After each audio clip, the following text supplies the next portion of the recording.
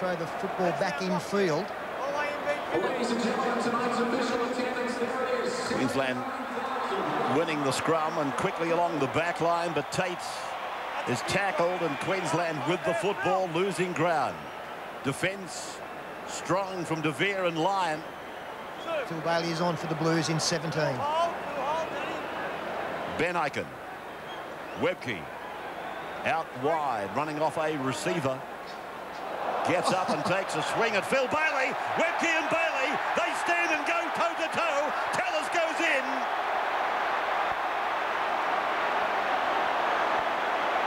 Well, this is very unusual. You don't see Shane Webcke react like this too many times during a football game. I think he threw the first one, Pete, he, he? did, absolutely, and he took great offence at something that Phil Bailey did. I don't think said in the tackle. Been having a few words as well. Made him restless. Well, Ryles and Sattler, they've parted from the main scrimmage and conducted their own battle. Let's go to the referee, let him work it out. You got, you got anything? I think Phil Bailey gave him a little push first, so Webcke. Shane Webcke. Shane Webcke, Phil Bailey. Phil Bailey. Uh, legal, Phil, Phil, Phil. Anything for me, Phil? Philly? All right. Hey, hang on. I don't, I don't